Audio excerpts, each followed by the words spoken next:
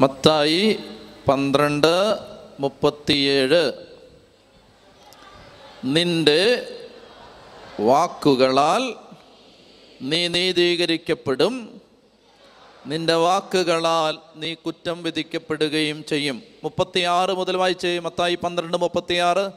ഞാൻ നിങ്ങളോട് പറയുന്നു മനുഷ്യൻ പറയുന്ന ഓരോ വ്യർത്ഥ വാക്കിനും വിധി ദിവസത്തിൽ കണക്ക് കൊടുക്കേണ്ടി വരും. എന്നോട് വായിച്ചേ ഞാൻ നിങ്ങളോട് പറയുന്നു മനുഷ്യൻ പറയുന്ന ഓരോ വ്യർത്ഥ വാക്കിനും വിധി ദിവസത്തിൽ കണക്ക് കൊടുക്കേണ്ടി വരും.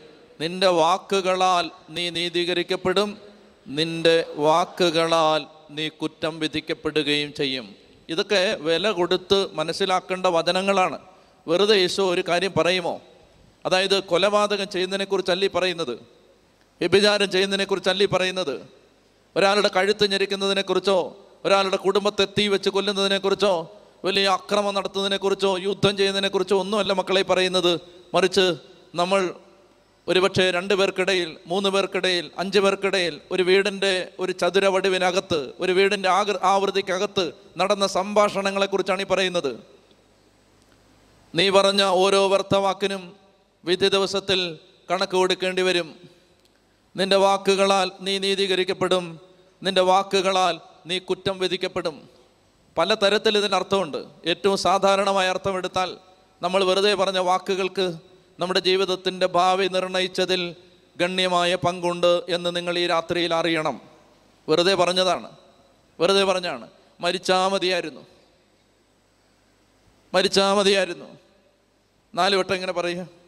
എനിക്ക് എന്റെ മനസ്സിൽ വളരെ വേദനാജനകമായ ഓർമ്മയുണ്ട്. ഒരു മനുഷ്യൻ ഒരിക്കലും ഒരു ദേവാലയത്തിൽ നിന്ന് ഇങ്ങനെ പറഞ്ഞു അതായത് ഒരു കാര്യത്തെക്കുറിച്ച് പരാമർശിച്ചുകൊണ്ട് ഇങ്ങനെ പറഞ്ഞു ഇങ്ങനെ നടന്നാൽ ഇങ്ങനെ നടന്നാൽ ഞാൻ ഈ ഈ പള്ളിയിൽ കെട്ടി തൂങ്ങിച്ചാവുമെന്ന് പറഞ്ഞു. അദ്ദേഹം നല്ല മനുഷ്യനാണ്. ആത്മാർത്ഥത കൊണ്ട് പറഞ്ഞാണ്. ഒരു കാര്യം നടക്കരുതെന്ന് ആഗ്രഹിച്ച് പറഞ്ഞാണ്. അതായത് ഇങ്ങനെ എങ്ങാണ്ട് വല്ലതും സംഭവിച്ചാൽ ഞാൻ ഈ പള്ളി കെട്ടി തൂങ്ങിച്ചാവുമെന്ന് പറഞ്ഞു. അദ്ദേഹം എന്താണോ നടക്കരുതെന്ന് ആഗ്രഹിച്ചത് അത് നടന്നു. അത് നടന്നു. അടുത്ത ദിവസങ്ങളിൽ അദ്ദേഹം മരിക്കുകയും ചെയ്തു. വലിയ പ്രായമില്ലാത്ത മനുഷ്യൻ പെട്ടെന്ന് അങ്ങ് മരിക്കുകയും ചെയ്തു. ഹൃദയവേദന കൊണ്ട് മരിച്ചാൽ നിങ്ങൾ കരുതരുത്. അതായത് പറയുന്ന ഓരോ തെറ്റോ തെറ്റായ വാക്കിനും ജീവിതത്തിന്റെ മേൽ നല്ല പ്രഹരമേൽപ്പിക്കാൻ ശക്തിയുണ്ട്. വെറുതെ ഓരോന്ന് പറയരുത്. ഇതിനാണ് അധരത്തിൽ ദൈവവചനം സൂക്ഷിക്കണം. കർത്താവിന്റെ വചനം നിന്റെ അധരത്തിൽ സൂക്ഷിക്കണമെന്ന് ദൈവത്തിന്റെ വചനം ഓർമ്മിപ്പിക്കുന്നതിന്റെ കാരണം. ചെത്തി പറഞ്ഞേ ഹാലേ ലുയാ കർത്താവ് പറയുകയാണ് മത്തായി പന്ത്രണ്ട് മുപ്പത്തി ആറ് മുപ്പത്തി ഏഴിൽ നീ പറയുന്ന ഓരോ വർത്തവാക്കിനും വിധി ദിവസത്തിൽ കണക്ക് കൊടുക്കേണ്ടി വരും. നിന്റെ വാക്കുകളാൽ നീ നീതീകരിക്കപ്പെടും. നിന്റെ വാക്കുകളാൽ നീ കുറ്റം വിധിക്കപ്പെടും. ഞാൻ ശുശ്രൂഷ ചെയ്തതെല്ലാം തീരെ സാധാരണ പാവപ്പെട്ട മനുഷ്യർ ജീവിക്കുന്ന സ്ഥലങ്ങളിലാണ്. അപ്പോൾ അവിടെയൊക്കെ ഒട്ടും വീടില്ലാത്തവരും ജോലിയില്ലാത്തവരും നിവൃത്തിയില്ലാത്തവരുമായ മക്കളായിരുന്നു അധികവും. ഇന്നും വലിയ സാമ്പത്തിക സ്ഥിതിയുള്ള സ്ഥലങ്ങളിലല്ല. എന്റെ ദേവാലയമൊക്കെ ഒരു സാധാരണ സാധാരണക്കാരായ മനുഷ്യർ ജീവിക്കുന്ന സ്ഥലമാണ്. അപ്പോൾ അവിടെയൊക്കെ ഒരുപാട് മനുഷ്യർക്ക് സങ്കടവും പ്രയാസവും കഴിഞ്ഞ പതിമൂന്ന് പതിനാല് വർഷത്തിനിടയിൽ എല്ലാ സ്ഥലത്തും പാവപ്പെട്ട മക്കളോട് ഭവനമില്ലാത്തവരോട് ജോലിയില്ലാത്തവരോടൊക്കെ ഇങ്ങനെയാണ് ഞാൻ പറഞ്ഞു കൊടുത്തിരുന്നത്. അതായത് നിങ്ങൾ ഇങ്ങനെ പറയണം കർത്താവ് എന്നെ സഹായിക്കും. നിങ്ങൾ പറയണം രണ്ടായിരത്തി പത്തൊമ്പതിൽ ഈശോ എനിക്ക് വീട് തരും. ഇത് വെറും വാക്കല്ല ഇതൊരു വിശ്വാസമാണ്. പ്രപഞ്ചത്തെ സൃഷ്ടിച്ച് സ്വന്തം വിരൽത്തുമ്പിൽ സകല പ്രപഞ്ച ശക്തികളെയും സംവഹിച്ചിരിക്കുന്ന സർവശക്തനായ ദൈവം അരളി ചെയ്തിട്ടുണ്ട്. നിന്റെ ഓരോ മുടിയിഴയും എണ്ണപ്പെട്ടിരിക്കുന്നു. നിന്റെ തലമുടിയിഴ എണ്ണി തിട്ടപ്പെടുത്തപ്പെട്ടിരിക്കുന്നു. അനേകം കുരുവുകളെക്കാൾ വിലയുള്ളവരാണ് നിങ്ങൾ. വയലിലെ പൂവിനേക്കാളും ആകാശത്തിലെ പറവയേക്കാളും വിലയുള്ളവരാണ് നിങ്ങൾ. സ്വർഗസ്ഥനായ പിതാവ് നിങ്ങളെക്കുറിച്ച് ഒരു പദ്ധതി ഇട്ടിട്ടുണ്ട്. നിങ്ങൾ നശിച്ചു പോകാനുള്ള പദ്ധതിയല്ല. എനിക്ക് എന്റെ ജീവിതത്തിലെ ശക്തമായ ബോധ്യങ്ങളിലൊന്ന് ഇതാണ്. ഒരു വ്യക്തി പോലും നശിച്ചു കിടക്കണമെന്ന് നമ്മുടെ ദൈവം ആഗ്രഹിക്കുന്നില്ല ദൈവത്തിന് അങ്ങനെ ഒരു പദ്ധതി ഇല്ല. നശിച്ചു കിടക്കുക ദാരിദ്ര്യത്തിൽ കടബാധ്യതയിൽ കണ്ണുനീരിൽ വഴക്കിൽ ഇല്ലായ്മയിൽ കെട്ടപ്പെട്ട് ഒന്നും നടക്കാതെ അങ്ങനെ നീ ജീവിക്കണമെന്ന് നിന്റെ ദൈവം ആഗ്രഹിക്കുന്നില്ല. Number one premise number one അതായത് എന്റെ സ്റ്റേറ്റ്മെന്റ് നമ്പർ വൺ അതായത് ദൈവത്തിന് നീ നശിച്ചു കിടക്കണമെന്ന് ആഗ്രഹമില്ല. അപ്പോൾ ദൈവത്തിന്റെ ഇഷ്ടം മനസ്സിലായി. ഞാൻ നന്നാവണമെന്ന് തന്നെയാണ് ദൈവത്തിന്റെ ആഗ്രഹം. ഞാൻ രക്ഷപ്പെടണം. എന്റെ കാര്യങ്ങളെല്ലാം അതായത് നമ്മളിങ്ങനെ എന്ന് കരഞ്ഞും തവിച്ചും നിലവിളിച്ച് അങ്ങനെ അങ്ങനെ ആഗ്രഹിക്കുന്നില്ല ദൈവം. ഞാൻ വന്നത് നിങ്ങൾക്ക് ജീവൻ ഉണ്ടാകാനും അത് സമൃദ്ധമായിട്ടുണ്ടാകാനുമാണ്. അല്ലാതെ നിങ്ങൾ എങ്ങനെയെങ്കിലും പൊത്തും പൊതിഞ്ഞും ഒപ്പിച്ചും അഡ്ജസ്റ്റ് ചെയ്തും എങ്ങനെയെങ്കിലും ഞെരുങ്ങിയൊക്കെ ജീവിക്കും മക്കളെ. അതിനാണ് ഞാൻ വന്നത്. അങ്ങനല്ല എന്റെ പ്രിയപ്പെട്ടവരെ അങ്ങനല്ല. ബോധപൂർവം ചില ദൈവസ്നേഹം നിറഞ്ഞ ജീവിതങ്ങൾ സാധാരണ നിലയിലും താഴ്ന്ന നിലയിലും ദാരിദ്ര്യത്തിലും നിവൃത്തികളിലും ജീവിക്കാൻ ബോധപൂർവം എടുക്കുന്ന തീരുമാനമാണ് ദാരിദ്ര്യവ്രതം. അത് വേറെ. അത് വേറെ. അതായത് ദൈവത്തെ സ്നേഹിക്കുന്ന ദൈവരാജ്യത്തിന് വേണ്ടി അധ്വാനിക്കാൻ ആഗ്രഹിക്കുന്ന ലോകത്തെ തിന്മകൾക്ക് പരിഹാരം ചെയ്യാൻ ആഗ്രഹിക്കുന്ന ദൈവസ്നേഹം തെരഞ്ഞ ചില ജീവിതങ്ങൾ ദാരിദ്ര്യവ്രതം എടുക്കുന്നു. അവർ അവർ വിചാരിക്കുന്നു ഞങ്ങൾ താഴ്ന്ന നിലയിൽ ജീവിച്ചോളാം. ഞങ്ങൾക്ക് ഇത്രയും മതി ഇത്രയും സൗകര്യം മതി. അത് വേറെ. അതും ഇതും കൂട്ടിക്കുഴയ്ക്കരുത്. എനിക്ക് പറയാനുള്ളത് നിങ്ങൾ ആരും തന്നെ ദാരിദ്ര്യത്തിലോ നിവൃത്തികേടിലോ നാശത്തിലോ ഗതികേടിലോ കടബാധ്യതയിലോ കലകത്തിലോ കണ്ണുനീരിലോ കിടന്നിങ്ങനെ മൃഗങ്ങളെ പോലെ ഇഴയാൻ ദൈവം ആഗ്രഹിക്കുന്നില്ല. ഇത്രയും ക്ലിയർ ആയെങ്കിൽ ദൈവം ആഗ്രഹിക്കുന്നില്ല. അങ്ങനെയാണെങ്കിൽ ആ ഞാൻ നന്നാവണമെന്നാണ് ദൈവത്തിന്റെ ആഗ്രഹമെങ്കിൽ ആ ആഗ്രഹം ഞാൻ പറയേണ്ടതുണ്ട്. എന്റെ ദൈവത്തിന് ഞാൻ രക്ഷപ്പെടണമെന്ന ആഗ്രഹം ഞാൻ രക്ഷപ്പെട്ടിരിക്കും. പറയാൻ പറ്റുന്ന ഉദാഹരണമാണോ എന്നറിയില്ല. എങ്കിലും ഓർ ഒന്നും വിചാരിക്കരുത്. ഓർക്കുമ്പോൾ അങ്ങ് പെട്ടെന്ന് പറയുകയാണ്. അതായത് എനിക്ക് എനിക്ക് ഒരാഗ്രഹമില്ല കേട്ടോ രാജ്യങ്ങളിലൊന്നും പോകണമെന്ന്. ഞാൻ പോകുന്നില്ല. വിളിക്കുന്നിടത്തൊന്നും ഞാൻ പോകുന്നുമില്ല കേട്ടോ. തെറ്റിദ്ധരിക്കരുത്. വർഷങ്ങൾക്ക് മുമ്പ് ഞാൻ വെറുതെ ഇങ്ങനെ എന്റെ പിതാവ് എന്റെ അടുത്ത് പറഞ്ഞു ഞാൻ പറഞ്ഞു എന്റെ പിതാവ് ഞാൻ ഈ രാജ്യത്ത് ഒരു കാര്യത്തിന് പൊക്കോട്ടം ചോദിച്ചു. അപ്പോൾ എന്നോട് പറഞ്ഞു എന്തിനാ ഇപ്പോൾ അവിടെയൊക്കെ പോകുന്നതെന്ന് ചോദിച്ചു. അപ്പം ഞാനിങ്ങനെ പറഞ്ഞു അഞ്ച് ഭൂഖണ്ഡത്തിലും പൊക്കോളാന്ന് ഞാൻ കർത്താവിനോട് പറഞ്ഞിട്ടുണ്ടെന്ന് പറഞ്ഞു. അതുകൊണ്ട് എനിക്ക് പോകണം അഞ്ച് ഭൂഖണ്ഡത്തിലും പൊക്കോളാന്ന് ഞാൻ പറഞ്ഞിട്ടുണ്ടെന്ന് പറഞ്ഞു. അപ്പോൾ അദ്ദേഹം ചിരിച്ചു. എന്നിട്ട് പറഞ്ഞു, എന്താ പറഞ്ഞാൽ ഞാൻ പറഞ്ഞു അഞ്ച് ഭൂഖണ്ഡത്തിലും ഞാൻ പോ ഞാൻ അഞ്ച് ഭൂഖണ്ഡത്തിലും എനിക്ക് പോകാനുള്ളതാണ്. ഞാൻ അത് കർത്താവിനോട് പറഞ്ഞിട്ടുള്ളതാണ്. തിരുമേനി അതിന് തടസ്സം നിൽക്കരുത് എന്ന് പറഞ്ഞു. എത്ര വർഷം മുമ്പ് ഞാൻ വെറുതെ പറഞ്ഞാണ്. വെറുതെ പറഞ്ഞാണ്. പക്ഷേ ഞാൻ ഓർക്കുകയാണ് ഇന്ന് ഏത് ഭൂഖണ്ഡത്തിൽ വേണേൽ പോകാനും സാഹചര്യമുണ്ട് സംവിധാനമുണ്ട്. നമുക്ക് പോകാൻ മനസ്സിലാത്തോണ്ട് പോകുന്നില്ലെന്നേ ഉള്ളൂ. അതായത് ദൈവത്തിന് ഇതെല്ലാം ആഗ്രഹമുണ്ട്. ദൈവത്തിന് നമ്മൾ നന്നാവണമെന്ന് ആഗ്രഹമുണ്ട്. നമ്മുടെ സങ്കീർത്തനം മുപ്പത്തി ഏഴ് നാല് വായിക്കേ. സങ്കീർത്തനം മുപ്പത്തിയേഴ് നാല്. സങ്കീർത്തനം മുപ്പത്തിയേഴ് നാല്. സങ്കീർത്തനം മുപ്പത്തേഴ് നാല്. കർത്താവിൽ ആനന്ദിക്കുക.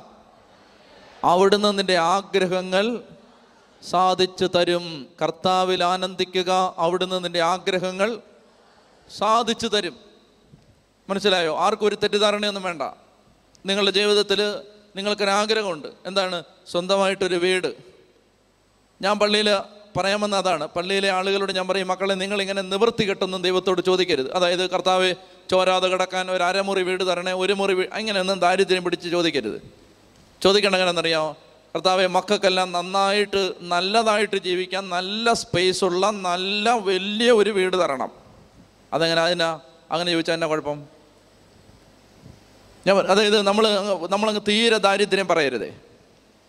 തീരെ ദാരിദ്ര്യം എന്ന് പറയേണ്ട ആവശ്യമില്ല. നിങ്ങൾക്ക് നല്ല വീട് വേണം അത് ദൈവത്തിന്റെ ആഗ്രഹമാണ്. ഭൂമി ഇഷ്ടംപോലെ സ്ഥലമൊക്കെ ഉണ്ട് നിങ്ങൾ പേടിക്കൊന്നും വേണ്ട. സ്ഥലം ഇല്ലെങ്കിൽ നമുക്ക് വേറെ കാനഡയിലൊക്കെ പോകാം ഇഷ്ടംപോലെ സ്ഥലമുണ്ട് അവിടെ. ചെത്തി പറഞ്ഞേ ഹാലേ ലുയാ ഹാലേ ലുയാ അപ്പോൾ അതുകൊണ്ട് നല്ല വീട് വേണം നല്ല ജോലി വേണം നിവൃത്തി വേണം നല്ല വേഷം ധരിക്കണം. അങ്ങനെ കീറിയും പറഞ്ഞു വന്നിട്ടുണ്ട് നടക്കുമൊന്നും വേണ്ട. ഭയങ്കര ഭക്തി മൂത്തിട്ട് അങ്ങനെ നടക്കുമൊന്നും വേണ്ട.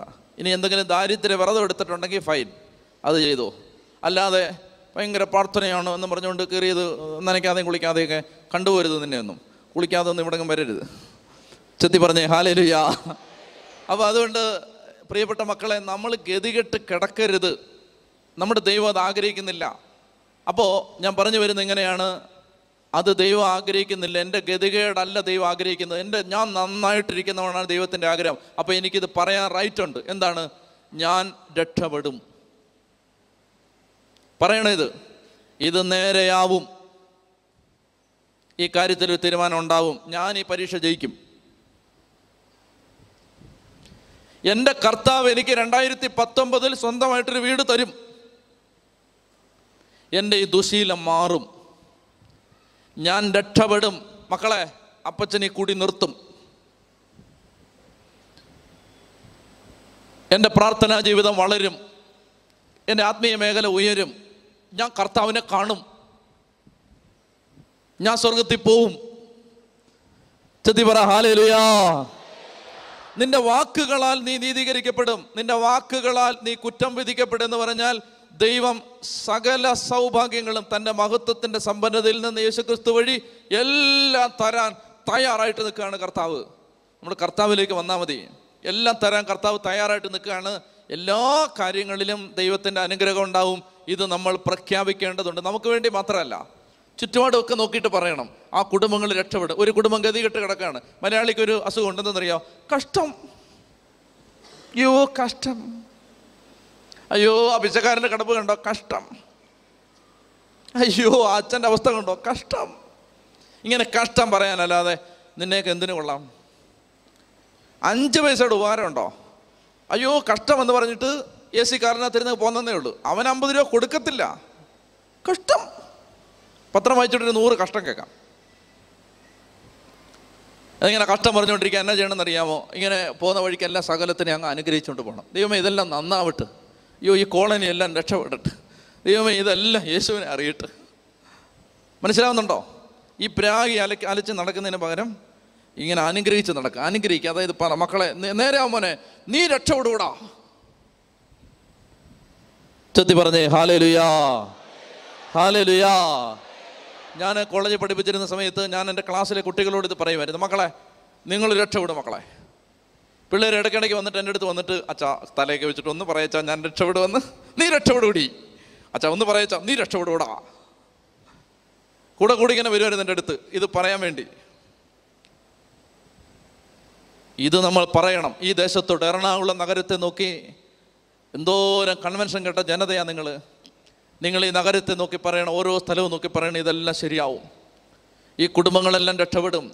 ഈ ചെറുപ്പക്കാരെല്ലാം മാനസാന്തരപ്പെടും. ഇവരെല്ലാം യേശുവിനെ അറിയും. ഇവിടെ എല്ലാം അഭിഷേകം ഉണ്ടാവും. ഈ ദേവാലയം നേരെയാവും. ഈ പ്രശ്നം തീരും.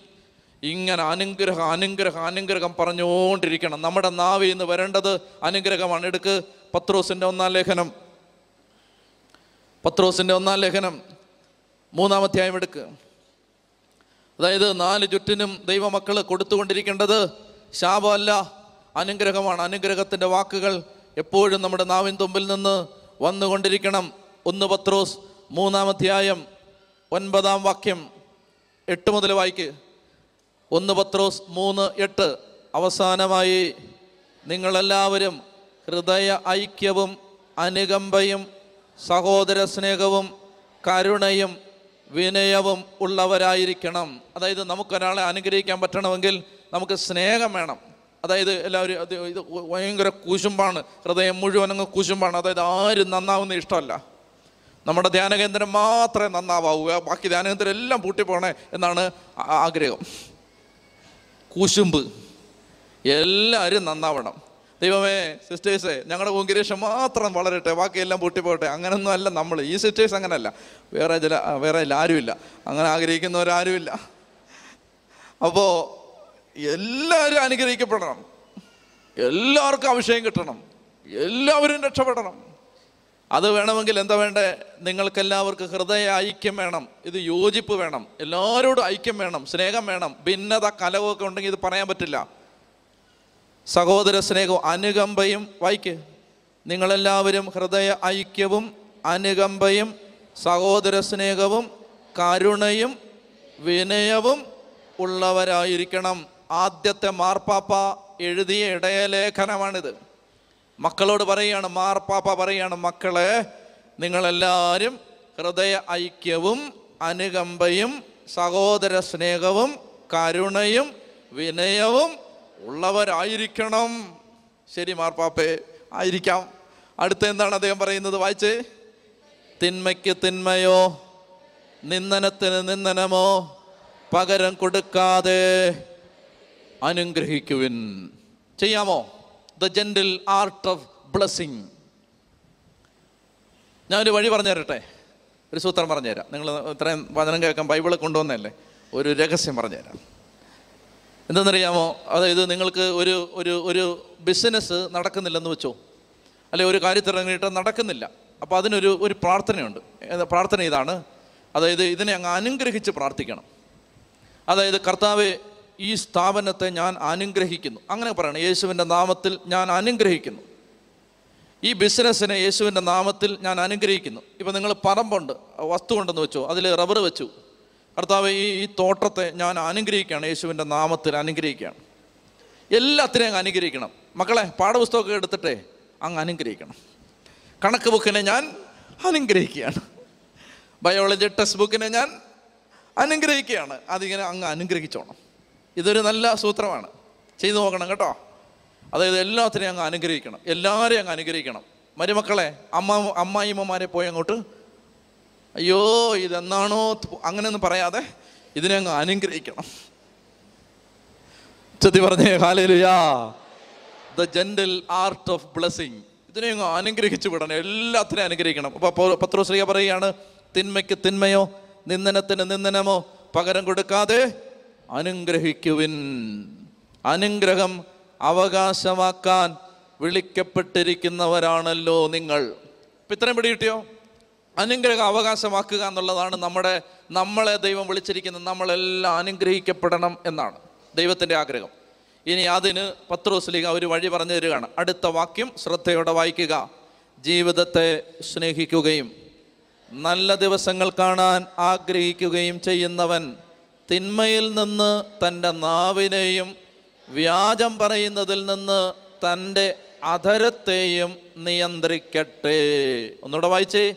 ജീവിതത്തെ സ്നേഹിക്കുകയും നല്ല ദിവസങ്ങൾ കാണാൻ ആഗ്രഹിക്കുകയും ചെയ്യുന്നവൻ തിന്മയിൽ നിന്ന് തന്റെ നാവിനെയും വ്യാജം പറയുന്നതിൽ നിന്ന് തന്റെ ആദരത്തെയും നിയന്ത്രിക്കട്ടെ. എടുക്കണ്ട. ഇത് തന്നെയാണ് മുപ്പത്തിനാലാം സങ്കീർത്തനത്തിൽ പന്ത്രണ്ടും പതിമൂന്നും വാക്യങ്ങൾ. അത് പത്രോസ്ലിക എടുത്ത് അതുപോലെ പറഞ്ഞിരിക്കുകയാണ്. വചനം എടുത്ത് പഴയ നിയമത്തിൽ നിന്നൊരു വചനം എടുത്ത് കോട്ട് ചെയ്ത് പറഞ്ഞിരിക്കുന്നതേ ഉള്ളൂ എക്സാക്ട്ലി ഇത് തന്നെയാണ് പഴയ നിയമത്തിൽ പറഞ്ഞിരിക്കുന്നത്. ഒരിക്കൽ കൂടി വായിക്കാം. ജീവിതത്തെ സ്നേഹിക്കുകയും നീ ജീവിതത്തെ സ്നേഹിക്കുന്നുണ്ടെങ്കിൽ വായിച്ചേ നീ ജീവിതത്തെ സ്നേഹിക്കുകയും നല്ല ദിവസങ്ങൾ കാണാൻ ആഗ്രഹിക്കുകയും ചെയ്യുന്നവൻ തിന്മയിൽ നിന്ന് തന്റെ നാവിനെയും വ്യാജം പറയുന്നതിൽ നിന്ന് തന്റെ ആധരത്തെയും നിയന്ത്രിക്കട്ടെ. പത്രശ്രീക പറയുകയാണ് നീ ജീവിതത്തെ സ്നേഹിക്കുന്നുണ്ടെങ്കിൽ നിന്റെ ഈ ജീവിതത്തെ നീ സ്നേഹിക്കുന്നുണ്ടെങ്കിൽ നിന്റെ ഈ ജീവിതം ഒരു അനുഗ്രഹമായി മാറണമെന്ന് തൊട്ടു മുമ്പ് അതാ പറഞ്ഞത്. അനുഗ്രഹം അവകാശമാക്കാൻ വിളിക്കപ്പെട്ടവരാണ് നമ്മൾ. നിന്റെ ജീവിതത്തെ നീ സ്നേഹിക്കുന്നുണ്ടെങ്കിൽ ഈ ജീവിതം ഒരു ബ്ലെസ്സിങ് ആയി മാറാൻ നീ ആഗ്രഹിക്കുന്നുണ്ടെങ്കിൽ തിന്മയിൽ നിന്ന് നിന്റെ നാവിനെയും വ്യാജം പറയുന്നതിൽ നിന്ന് നിന്റെ ആദരത്തെയും നീ നിയന്ത്രിക്കണം. തിന്മയിൽ നിന്ന് നാവിനെ നാവിൽ നിന്ന് തിന്മ പുറപ്പെടാതിരിക്കട്ടെ. നമ്മൾ അടുത്തൊരു വചനമുണ്ട് അത് വായിക്കാം പിന്നീട്. നിന്റെ നാവിൽ നിന്ന് നിന്റെ അതിരത്തിൽ നിന്ന് തിന്മ പുറപ്പെടാതിരിക്കട്ടെ. നാവിൽ നിന്ന് തിന്മ വരരുത്. അതായത് ദേഷ്യം വരും കോപം വരും വരുമ്പോഴൊന്നും വായു വരുന്നത് പറയരുത്. നാവിനെ നിയന്ത്രിക്കണം ഹൃദയത്തിന്റെ തികവിൽ നിന്നാണ് ആദരം സംസാരിക്കുന്നത്. ഹൃദയത്തിന്റെ തികവിൽ നിന്നാണ് വായിലോട്ട് ഓരോ കാര്യങ്ങൾ വരുന്നത്. അതുകൊണ്ട് ഹൃദയത്തിൽ ആഗ്രഹിക്കണം. പത്രോസിക പറഞ്ഞ പോലെ അനുകമ്പ വേണം ഹൃദയത്തിൽ കരുണ വേണം. എല്ലാം പാവപ്പെട്ട മനുഷ്യരാണ് എല്ലാം കുറവുള്ളവരാണ്. അത് നമ്മൾ മനസ്സിലാക്കേണ്ടതുണ്ട്. അതുകൊണ്ട് അനുകമ്പ വേണം ഐക്യം വേണം സ്നേഹം വേണം കരുണ വേണം. ഇത് ഹൃദയത്തിലുണ്ടെങ്കിൽ അങ്ങനെയുള്ള വാക്കുകൾ പുറത്തു വരും. ഹൃദയത്തിന്റെ തികവിൽ നിന്ന് ആദരം സംസാരിക്കും. അതുകൊണ്ട് മനസ്സിലാക്കണം ഇതെല്ലാം പാവപ്പെട്ട മക്കളാണ്. ഓരോരുത്തരും ഓരോ ജീവിത സാഹചര്യത്തിന്റെ ഇരകളാണ്. ഓരോരുത്തരും ഇങ്ങനെയൊക്കെ ആയതിന് ഓരോ കാരണങ്ങളുണ്ട്. നമ്മളിങ്ങനെ ദുഷിച്ച് നിന്നിച്ചിട്ട് എന്താ കാര്യം? ഒരു കാര്യമില്ല. എല്ലാവരും അവരവരുടെ ഭൂതകാലത്തിന്റെ പ്രോഡക്റ്റുകളാണ്. ഓരോ സാഹചര്യങ്ങൾ ഇങ്ങനെയൊക്കെ ആയിപ്പോയി. ദുരുപയോഗിക്കപ്പെട്ട ഒരു കുഞ്ഞ് അത് തെറ്റ് ചെയ്തിട്ടാണോ? അതിനെ മിസ്യൂസ് ചെയ്തു. അപ്പോൾ അതിനെന്ത് ചെയ്തു? അതിന് പാപാസക്തി നിറഞ്ഞു. അത് അനേകരെ പാപം ചെയ്യിച്ചു. അതെ ആ കുട്ടി എല്ലാത്തിനെയും പാപം ചെയ്യിച്ച് നടക്കാമെന്ന് ജഡ്ജ്മെന്റ് പറഞ്ഞിട്ട് കാര്യമുണ്ടോ? എന്ത് ചെയ്യാനാ? അത് ദുരുപയോഗിക്കപ്പെട്ടു. അത് അതിനെ അത് ആ കുട്ടി മലിനമാക്കപ്പെട്ടു. അത് അനേകരെ പാപത്തിലേക്ക് നയിച്ചു. എന്ത് ചെയ്യാൻ പറ്റും? പ്രിയപ്പെട്ട മക്കളെ അതുകൊണ്ട് ഇനി ജഡ്ജ്മെന്റ് നടത്തിയിട്ട് കാര്യമില്ല. കർത്താവിന്റെ വചനം പറയുകയാണ് അനുഗ്രഹിക്കുക അനുഗ്രഹ അവകാശമാക്കാൻ വിളിക്കപ്പെട്ടവരാണ് നിങ്ങൾ. ജീവിതത്തെ നീ സ്നേഹിക്കുന്നുണ്ടെങ്കിൽ നല്ല ദിവസങ്ങൾ കാണാൻ നീ ആഗ്രഹിക്കുന്നുണ്ടെങ്കിൽ തിന്മയിൽ നിന്ന് നിന്റെ നാവിനെയും വ്യാജം പറയുന്നതിൽ നിന്ന് നിന്റെ ആദരത്തെയും സൂക്ഷിക്കണം. എന്നെ വല്ലാതെ ചിന്തിപ്പിച്ചൊരു അനുഭവം ഞാൻ പറയാം. ഒരിക്കലും മാതാപിതാക്കൾ ഒരു കുട്ടിയും കൊണ്ട് വന്നു അപ്പോൾ ആ പെൺകുട്ടി പാവം കുട്ടിയാണ്. അവൾക്ക് അവൾക്കൊരു പ്രശ്നമുണ്ട്. എന്തെന്ന് വെച്ചാൽ അവളുടെ മനസ്സിൽ നമ്മൾ ചിന്തിക്കുന്ന പോലെ അല്ല അവൾ ചിന്തിച്ചുകൊണ്ടിരിക്കുന്നത് അവൾ വേറൊരു രീതിയിലാണ് ചിന്തിക്കുന്നത്. എന്ന് വെച്ചാൽ അവൾ ചിന്തിക്കുന്നത് ഈ ലോകം മുഴുവൻ ബാക്ടീരിയ വൈറസ് രോഗാണുക്കൾ നിറഞ്ഞിരിക്കുകയാണ്. അതുകൊണ്ട് നമ്മൾ വളരെ കെയർഫുൾ ആയിരിക്കണം. അവൾ അങ്ങനെ ചിന്തിക്കുന്നത്? എന്നിട്ട് അവൾ അമ്മ അവൾ ഭക്ഷണം കഴിക്കുന്ന പാത്രത്തിൽ അമ്മ തൊടാൻ സമ്മതിക്കില്ല. അവളുടെ ബെഡ്ഷീറ്റിൽ അമ്മ തൊടാൻ സമ്മതിക്കില്ല. അവളുടെ കട്ടിലയിൽ ആരും തൊടാൻ സമ്മതിക്കില്ല. അവൾ ഉപയോഗിക്കുന്ന ഒരു വസ്തുവിൽ ആരും തൊടാൻ സമ്മതിക്കില്ല. കാരണം ഇവരുടെ എല്ലാം കയ്യിൽ രോഗാണുക്കളുണ്ട്. ഇപ്പം ഞാൻ ഈ മകളോട് സംസാരിച്ച്. സംസാരിച്ചപ്പോൾ എന്നോട് ചോദിച്ചു അച്ഛൻ ഉപയോഗിക്കുന്ന കാറ് പുതിയത് വാങ്ങിച്ചതാണോ? അതോ ഉപയോഗിച്ച വണ്ടി വാങ്ങിച്ചതാണോ? ഞാൻ പറഞ്ഞു ഉപയോഗിച്ച വണ്ടി വാങ്ങിച്ചതാണ്. അയ്യോ എന്തോരം രോഗാണുക്കൾ കാണുമെന്ന് പറഞ്ഞു അതിനകത്ത് എന്ത് ചെയ്യാനാ? അപ്പോൾ എല്ലാം സംസാരം എല്ലാം കഴിഞ്ഞിട്ട് ഞാൻ പറഞ്ഞു വാ പ്രാർത്ഥിക്കട്ടെ. തൊട്ടുപോരുതെന്ന് പറഞ്ഞു.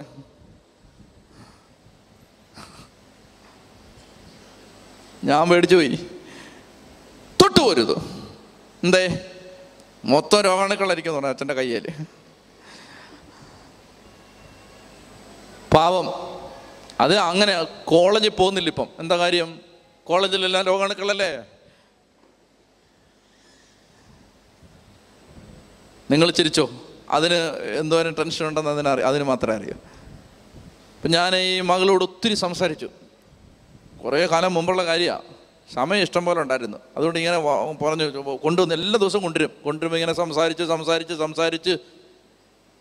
ഒരു ദിവസം ഈ മകളിന്റെ അടുത്ത് പറഞ്ഞു അച്ഛാ എന്റെ ഈ നാശത്തിന്റെ കാരണം. എന്റെ അപ്പന്റെ അനിയനാന്ന് പറഞ്ഞു. ഞാൻ പറഞ്ഞു അതെന്നാ കാര്യം? അവൾ പറഞ്ഞു ഞാൻ ജനിച്ച നാൾ മുതൽ ഞാനൊരു മിടുക്കി കുട്ടിയായിരുന്നുകൊണ്ട് എന്നെ നശിപ്പിക്കാൻ വേണ്ടി എന്റെ അപ്പന്റെ അനിയൻ എല്ലാ ദിവസവും ഞങ്ങളുടെ വീട്ടുമുറ്റത്ത് കൊണ്ട് കൂടോത്രയിടും ഞാൻ ചോദിച്ചു എന്ന് മുതൽ? ഞാൻ ജനിച്ച അന്ന് മുതൽ. നിനക്ക് ഭയങ്കര മെമ്മറിയാണല്ലോ ഇടി മോളെ. ജനിച്ച അന്ന് മുതലുള്ള ഓർമ്മ നിനക്കുണ്ടല്ലേ? അത് അത് ഞാൻ എന്റെ ഓർമ്മയൊന്നുമല്ല. പിന്നെ അമ്മ പറഞ്ഞാന്ന് പറഞ്ഞു. കൗൺസിലിംഗ് ആർക്കാണ് വേണ്ടത്? മമ്മായിക്കാണ് വേണ്ടത്. അതായത് ഈ കുട്ടിയുടെ മനസ്സിൽ ഇപ്പോൾ വന്നിരിക്കുന്നത് ഒരു രോഗം അതിനെ രോഗമായിട്ട് കാണാം. പക്ഷേ വൈകല്യം നിറഞ്ഞ നൂറുകണക്കിന് ചിന്തകൾ ഈ മകളുടെ മനസ്സിലേക്ക് വന്നത് അമ്മയും ജഡ്ജ് ചെയ്യണ്ട. അമ്മ ഇങ്ങനെ ഓരോന്നോരോന്നിരുന്ന് പറഞ്ഞത് മുഴുവൻ ഈ കുട്ടി സ്റ്റോർ ചെയ്ത് വെച്ചു. ഇങ്ങനെയാണ് നമ്മൾ അതായത് നിങ്ങൾ വചനമാണ് പറഞ്ഞുകൊണ്ടിരിക്കുന്നതെങ്കിൽ നിങ്ങളുടെ കുഞ്ഞുങ്ങളിൽ വചനം സ്റ്റോർ ചെയ്തുകൊണ്ടിരിക്കും. നിങ്ങൾ പറഞ്ഞുകൊണ്ടിരിക്കുന്നത് ലോകത്തിന്റെ ധാരണകളാണെങ്കിൽ നിങ്ങളുടെ കുഞ്ഞുങ്ങളുടെ ഹൃദയത്തിൽ ലോകത്തിന്റെ ധാരണകൾ പതിഞ്ഞുകൊണ്ടിരിക്കും. നമ്മൾ എന്താ ഈ കമ്മ്യൂണിക്കേറ്റ് ചെയ്തുകൊണ്ടിരിക്കുന്നത്? ഞാൻ ഒരിക്കലും ഒരു സ്ഥലത്ത് ശുശ്രൂഷ ചെയ്തുകൊണ്ടിരിക്കുമ്പോൾ ഒരു അപ്പച്ചൻ ഇങ്ങനെ കൈ ഉയർത്തിയിട്ട് പറഞ്ഞു അച്ഛാ എനിക്കൊരു ചോദ്യമുണ്ട് അച്ഛാ. ചോദിക്കപ്പച്ചാ അപ്പച്ചൻ ചോദിച്ചു എന്തെന്നറിയാമോ എന്റെ അച്ഛൻ നമ്മൾ ഇത്രയും ധ്യാനം നടത്തിയിട്ടും കൺവെൻഷൻ നടത്തിയിട്ടും കാറ്റഗസം പഠിപ്പിച്ചിട്ടും നമ്മുടെ മക്കൾ എന്താ ദൈവത്തിലേക്ക് അടുത്ത് വരാത്ത? വീട്ടിലെ കാര്യം ഓർത്ത് പറഞ്ഞായിരിക്കും. അപ്പോൾ അച്ഛാ നമ്മൾ എന്തോരം പള്ളിയിൽ പോകുന്നു കുട്ടികൾ കാറ്റഗറിസം ക്ലാസ്സിൽ പോകുന്നു കൺവെൻഷന് പോകുന്നു എന്താ അച്ഛാ കുട്ടികൾ കുട്ടികൾ അങ്ങോട്ട് ദൈവത്തിലേക്ക് അടുത്ത് വരാത്ത? എന്താന്ന് ഞാൻ പറയട്ടെ മറുപടി? അതായത് നിങ്ങളുടെ വീട്ടിൽ ദേവാലയത്തിൽ പള്ളിയിൽ ഞായറാഴ്ച ദിവസം ഒരു പത്ത് മിനിറ്റ് വിശുദ്ധ കുർബാന മധ്യേ ദൈവവചനം പങ്കുവെക്കുന്നു. അല്ലെ പരമാവധി പതിനഞ്ച് മിനിറ്റ്. പോട്ടെ അരമണിക്കൂർ. അരമണിക്കൂറൊക്കെ എവിടെയെങ്കിലും പങ്കുവെച്ചാൽ പിന്നെ ആ പള്ളിയിൽ ആരെങ്കിലും വരുമോ ഞായറാഴ്ച നിങ്ങളൊക്കെ വരുമോ പിന്നെ? ഓ എന്തോരം വേറെ പള്ളിയുണ്ട്. പ്രസംഗമില്ലാത്ത പള്ളികൾ എത്ര എണ്ണമുണ്ട് അപ്പോൾ അതുകൊണ്ട് അതൊക്കെ പേടിച്ചിട്ട് വികാരിച്ചമാർ അഞ്ച് മിനിറ്റ് ഏഴ് മിനിറ്റ് ഒക്കെ ഏഹ്, പറഞ്ഞ് അവസാനിപ്പിക്കും. അതാണ് ആകെയുള്ള പ്രബോധനം. അതാണ് ഈ പ്രബോധനം. ഔദ്യോഗിക പ്രബോധനം ആകെയുള്ളത് അതാണ്.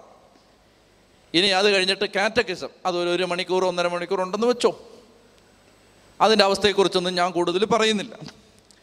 ഇനി അത് കഴിഞ്ഞിട്ട് ഈ കുട്ടി വീട്ടിലേക്ക് വന്നാൽ പിന്നീട് ആ കുട്ടി ദൈവത്തെക്കുറിച്ചോ ദൈവവചനത്തെക്കുറിച്ചോ മാതാപിതാക്കളുടെയോ വല്യപ്പച്ചന്റെയോ വല്യമ്മച്ചിയുടെയോ വീട്ടിലുള്ളവരുടെയോ അല്ലെങ്കിൽ ടെലിവിഷൻ സംപ്രേഷണത്തിലൂടെയോ വല്ലതും കേൾക്കുന്നുണ്ടോ? ഇല്ലല്ലോ.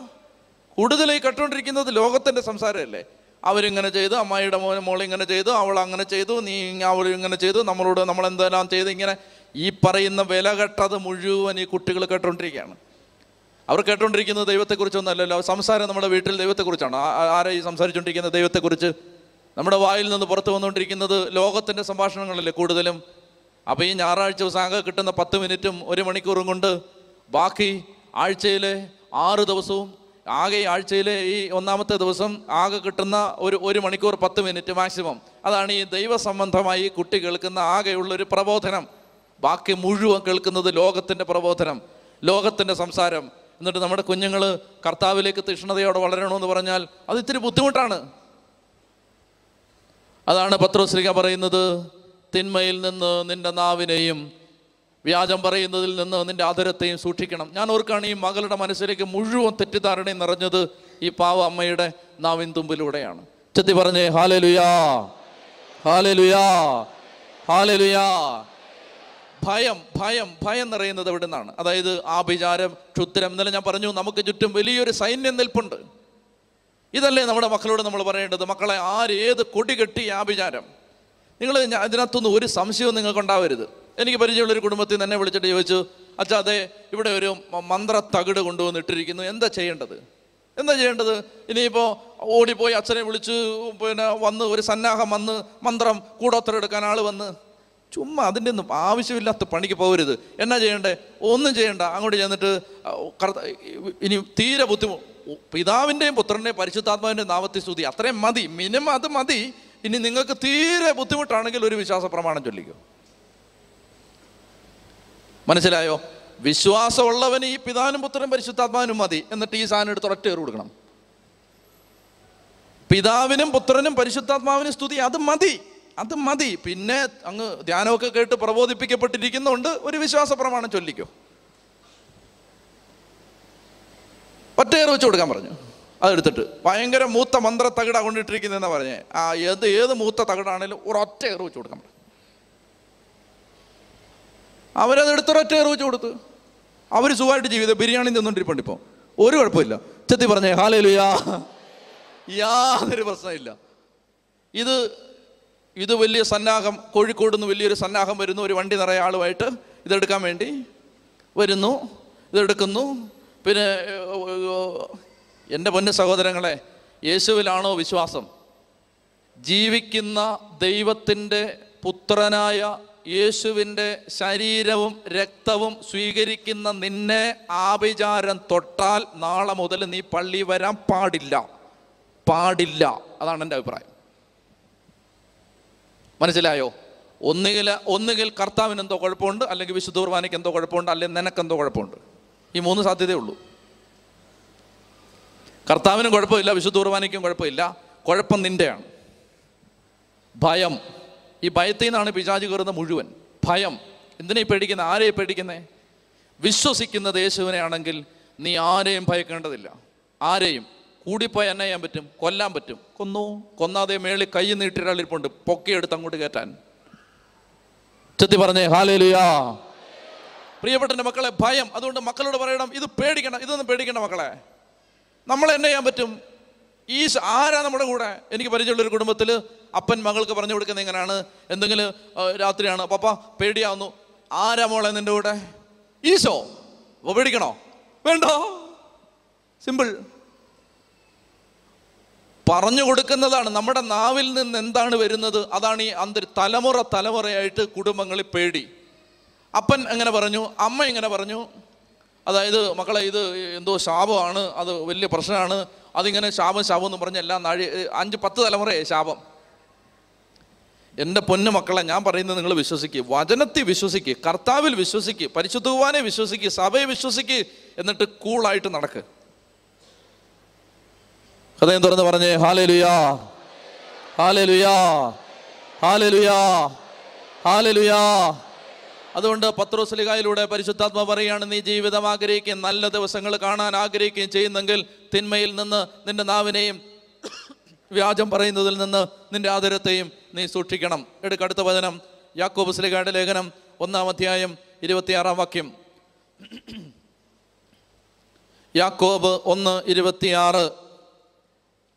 യാക്കോബ് ഒന്ന് ഇരുപത്തിയാറ്.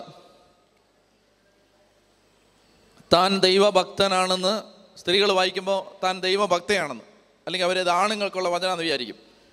സ്ത്രീകൾ വായിക്കുമ്പോൾ ദൈവഭക്തയാണെന്ന് വായിച്ചോണം. അല്ലെ അവരെന്നെ ഇത് കെട്ടിയാനുള്ള വചനമെന്ന് വിചാരിച്ചിട്ട് ഭയങ്കര മിടുക്കായിട്ടിരിക്കും. ഇത് നിങ്ങൾക്കുള്ളതാണ് അപ്പോൾ നിങ്ങൾ വായിക്കുമ്പോൾ എങ്ങനെ വായിക്കേണ്ടത്? താൻ ആ നിങ്ങൾ വായിക്കുമ്പോഴോ താൻ ദൈവഭക്തനാണ്. വായിച്ചേ.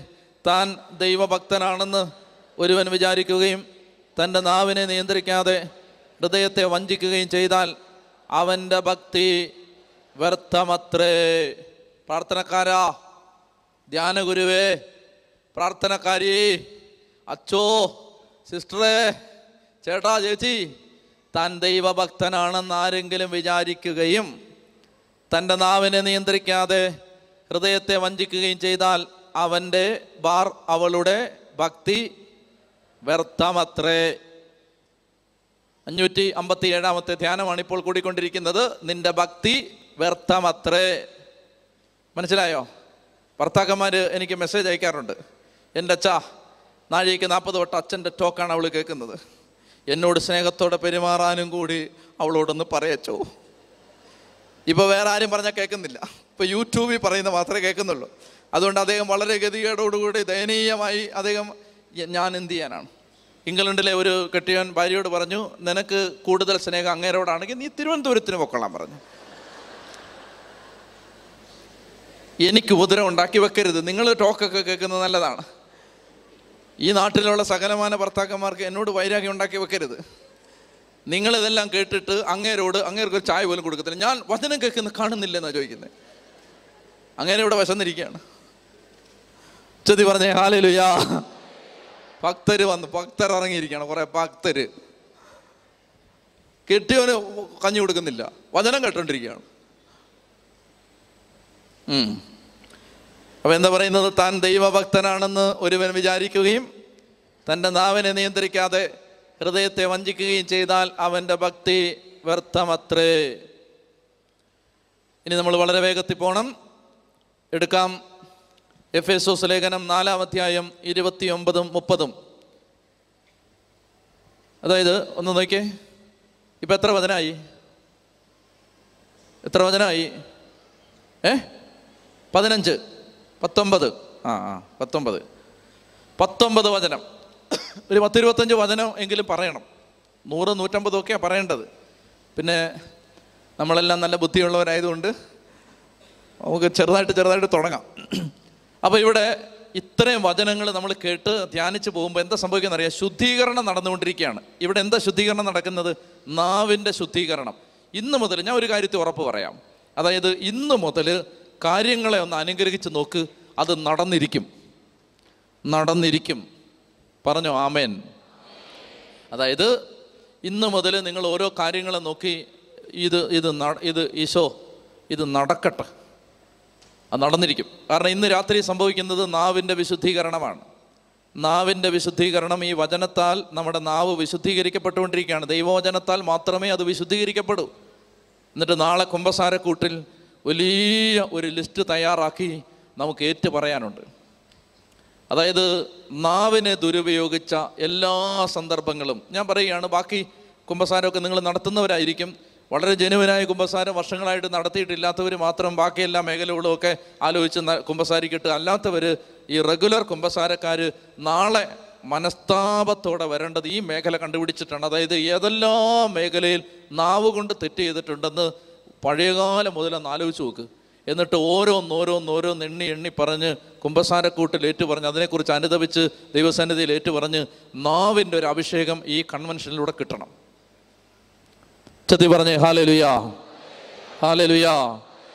അപ്പോൾ അതുകൊണ്ട് എടുത്ത് വായിക്കുക എഫ് എസോസ് നാലാം അധ്യായം ഇരുപത്തി ഒൻപതും മുപ്പതും വാക്യങ്ങൾ. എഫ് എസോസ് നാല് ഇരുപത്തി ഒൻപതും മുപ്പതും.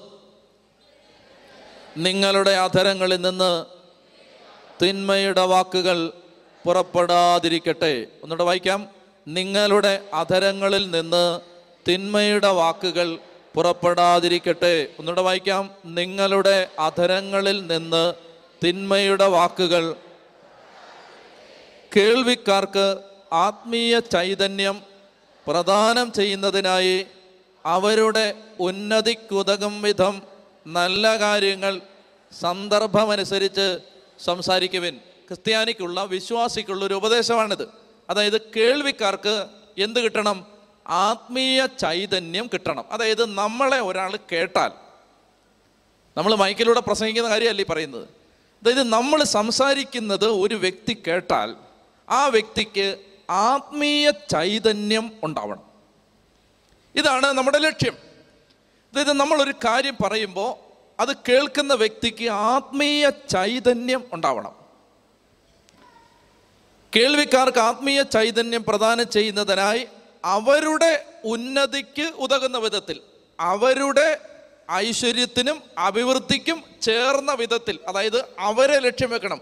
ഇവർ രക്ഷപ്പെടാൻ ഇവർക്ക് ഐശ്വര്യം ഉണ്ടാവാൻ ഇവർക്ക് ഔന്നത്യം ഉണ്ടാവാൻ ഇപ്പോൾ ഞാൻ എന്ത് ദൈവിക കാര്യമാണ് പറയേണ്ടത്? ഇത് ചിന്തിച്ചിട്ട് അവരുടെ ആത്മ അവരുടെ ഉന്നതിക്ക് ഉതകം വിധം നല്ല കാര്യങ്ങൾ സന്ദർഭമനുസരിച്ച് സംസാരിക്കുവിൻ. ഇതൊരു ഭയങ്കര പ്രബോധനമാണ്. നിങ്ങളുടെ നാവിൽ നിന്ന് നിങ്ങളുടെ അധരങ്ങളിൽ നിന്ന് തിന്മയുടെ വാക്കുകൾ പുറപ്പെടാതിരിക്കട്ടെ. ഒരു ഭാഗം അതാണ്. അതായത് നമ്മൾ നാലോചിച്ച് ചോദിക്കേ ഒരു വാക്ക് പറഞ്ഞ് നമുക്കൊരാളുടെ ജീവൻ എടുക്കാൻ പറ്റും. ഒരു വാക്ക് പറഞ്ഞ് നമുക്കൊരാളുടെ ഒരു മാസം കളയാൻ പറ്റും. ഒരു വാക്ക് പറഞ്ഞ് നമുക്കൊരാളുടെ ആയുസ് നശിപ്പിച്ച് കളയാൻ പറ്റും. ഒരു വാക്ക് പറഞ്ഞിട്ട് കൗൺസിലിങ്ങിനൊക്കെ വന്നിരിക്കുന്ന ആളുകൾ പറയുന്ന വേദനാജനകമായ സന്ദർഭങ്ങളുണ്ട്. വർഷങ്ങൾക്ക് മുമ്പ് പറഞ്ഞ ചില വാക്കുകൾ. വർഷങ്ങൾക്ക് മുമ്പ് ചില ആളുകൾ പറഞ്ഞ ചില വാക്കുകൾ. അതിങ്ങനെ കുത്തി നോവിച്ചുകൊണ്ടിരിക്കുകയാണ് വേദനിപ്പിച്ച് വേദനിപ്പിച്ചുകൊണ്ടിരിക്കുകയാണ് കയ്പുള്ള വിഷമ വിഷ- വിഷമാണ് എന്ന് വിലാപങ്ങളുടെ പുസ്തകത്തിൽ പറയുന്നുണ്ട്. എന്റെ എന്റെ മുറിവുകളെ കുറിച്ചുള്ള ഓർമ്മ കയ്പുള്ള വിഷമാണ്. അങ്ങനെ ഈ വിഷം ചങ്കിനകത്ത് ഇട്ട് നടക്കുകയാണ് വേദന ഇട്ട് നടക്കുകയാണ് വർഷങ്ങൾക്ക് മുമ്പ് ആരോ പറഞ്ഞ വാക്കുകൾ. ഇതെല്ലാം മനസ്സിൽ കിടക്കുകയാണ്. സ്നേഹിക്കാൻ പറ്റുന്നില്ല. ചില ആളുകൾക്ക് ജീവിത സ്നേഹിക്കാൻ പറ്റുന്നില്ല. ചില വ്യക്തികളെ സുഹൃത്തുക്കളെ സ്നേഹിക്കാൻ പറ്റുന്നില്ല. കാരണം എന്താണ്? പുറമെ ഇങ്ങനെ അഭിനയിക്കുന്നുണ്ട് സ്നേഹിക്കുന്നുണ്ട്. സ്നേഹിക്കാൻ പറ്റാത്തതിന്റെ കാരണം ചില വാക്കുകൾ ഇങ്ങനെ മനസ്സിൽ കിടക്കുകയാണ്. അതുകൊണ്ട് ജീവിതത്തിൽ ഒരു തീരുമാനം എടുക്കണം. ഒന്നും മിണ്ടിയില്ലെങ്കിൽ മിണ്ടിയില്ല എന്നേ ഉള്ളൂ. പക്ഷേ പറഞ്ഞൊരാളെ തകർക്കരുത്. പറഞ്ഞൊരാളെ നശിപ്പിക്കരുത്. എന്റെ പ്രിയപ്പെട്ടവരെ കേൾവിക്കാർക്ക് ഔന്നത്യം ഉണ്ടാക്കാത്തത് പറയാതിരിക്കാൻ വിശ്വാസി നീ ശ്രദ്ധിക്കണം. അതേസമയം നല്ല കാര്യങ്ങൾ സന്ദർഭം അനുസരിച്ച് പറഞ്ഞു കൊടുക്കണം. നല്ല കാര്യം ഒരു വാക്കുകൊണ്ട് ചിലപ്പോൾ രക്ഷപ്പെടും. എന്റെ ശുശ്രൂഷയിൽ എന്നെ സഹായിക്കുന്ന ശുശ്രൂഷകരിൽ ഒരാളാണ് രാജൻ രാജൻ കാഞ്ചിയാർ. രാജന്റെ ജീവിതം ശാലോമിൽ ശാലോം നൈറ്റ് വിജിലിന് ടെസ്റ്റ് മണി വന്നിട്ടുണ്ട്. നിങ്ങൾ ചിലർ കേട്ടിട്ടുണ്ടാവും. രാജന് കാഞ്ചിയാർ കവലയിൽ മദ്യലഹരിയിലും കഞ്ചാവിന്റെ ലഹരിയിലും സ്വബോധം നഷ്ടപ്പെട്ട് പരസ്പര ബന്ധമില്ലാതെ സംസാരിച്ചും ഉടുതുണിക്ക് മറുതുണിയില്ലാതെ ജീവിച്ചും വലിയ നാണക്കേടിലും അപമാനത്തിലും ഒരു വെയിറ്റിംഗ് ഷെഡിൽ ജീവിക്കുന്ന കാലത്ത് രക്ഷപ്പെടണമെന്നൊരാഗ്രഹം വരുമ്പോൾ രക്ഷപ്പെടണമെന്നൊരാഗ്രഹം മനസ്സിലേക്ക് വരുമ്പോൾ എങ്ങനെ രക്ഷപ്പെടാമെന്നൊരു ചിന്ത വരുമ്പോൾ ഒരു ചേച്ചി പറഞ്ഞ ഒരു വാചകമാണ് രാജനെ ഡിവൈൻ ധ്യാന കേന്ദ്രത്തിൽ എത്തിക്കുന്നത്. രാജൻ ഒരു വീട്ടിൽ വിറക് വെട്ടി കീറി കൊടുക്കാനായിട്ട് പോവും. വൈകുന്നേരം കള്ളു കുടിക്കാനുള്ള കാശ് കിട്ടാൻ വേണ്ടി വിറക് വെട്ടി കൊടുക്കാൻ വേണ്ടി ചെല്ലുമ്പോൾ ഇവന്റെ ഈ അവസ്ഥ കണ്ടിട്ട് അമ്മ വീട്ടിൽ നിന്ന് ഇറങ്ങിപ്പോയി ഭാര്യ മകനെയും കൊണ്ട് ഇറങ്ങിപ്പോയി വിവാഹമോചനം നേടി അവൾ വേറെ കുടുംബജീവിതത്തിലേക്ക് പ്രവേശിച്ചു.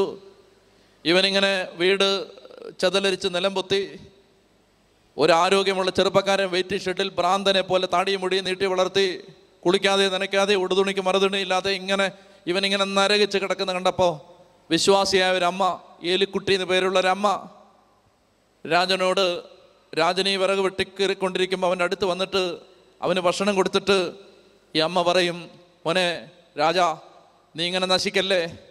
നീ പോട്ടെ പോ. പനക്കലച്ചനെ കാണ് ഈശോ നിന്നെ രക്ഷപ്പെടുത്തും. ഇന്ന് രാജൻ കാഞ്ചിയാറെന്ന സുവിശേഷകൻ ഉണ്ടായത് ഏലിക്കുട്ടി എന്ന് പറയുന്ന ഈ അമ്മയുടെ ഈ വാക്കിലാണ്. ഈ വാക്കിൽ രാജാ ഇങ്ങനെ നശിക്കല്ലേ? പോട്ടെ പോ. പനക്കലച്ചനെ കാണ് കർത്താവ് നിന്നെ രക്ഷപ്പെടുത്തും.